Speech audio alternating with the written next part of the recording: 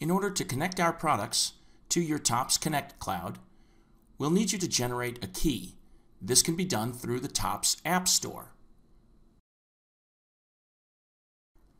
Scroll down through the partner products till you find ComWeb homepage and click the Settings button. You should see all of your communities that you have on TOPS. Find the correct one and click Create Key.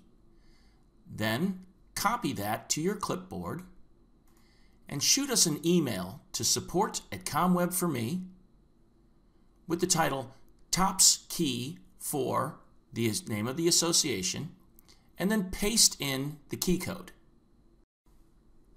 And that's all there is to it. Send us that email and we will connect your community to your website, signals, or portal products. Should you need any further information, please call us at our customer support desk.